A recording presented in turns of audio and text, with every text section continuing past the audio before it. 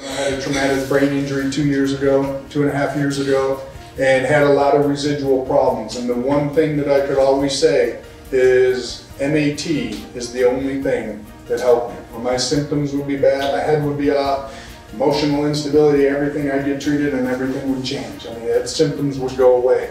Well, I started working, I was referred to Kyle and Mike Shanahan through a group that they work with with the 49ers that uh, do brain training and, and the 49ers have brought them in-house. I've been doing a lot of work with that group and we've been able to show that there's a 100% correlation between the status of the neuromuscular system and brainwave activity.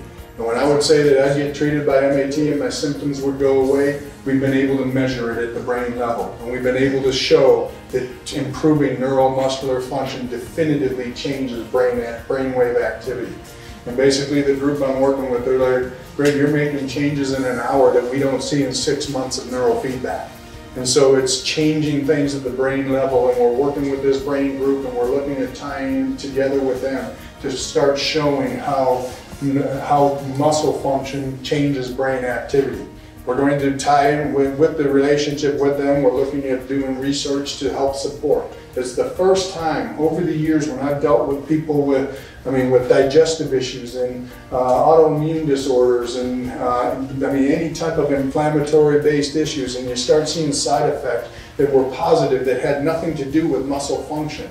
A kid with Asperger's hypotonia, he came back and normalized his whole function, concentration, mental focus, and by treating muscles. And why did these things happen? Now we're actually showing why it happens, because it shows up at the brain level. And so the, basically it's the first documented um, validation of what MAT is actually doing.